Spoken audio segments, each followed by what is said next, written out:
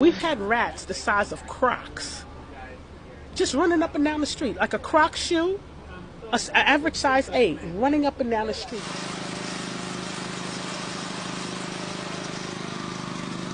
Rats need food, water, and shelter to survive.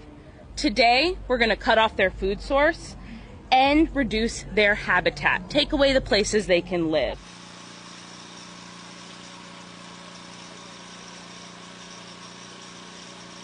We're dealing with the